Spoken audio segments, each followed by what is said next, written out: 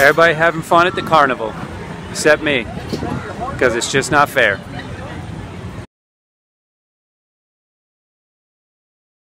How's the fair? Not bad.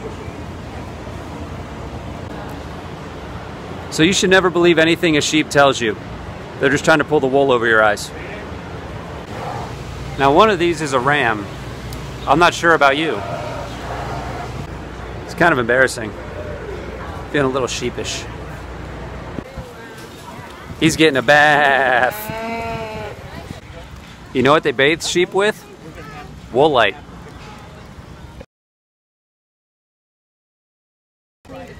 So if they bathe sheep, do they shrink? I think this sheep is named Black Betty. Black Betty,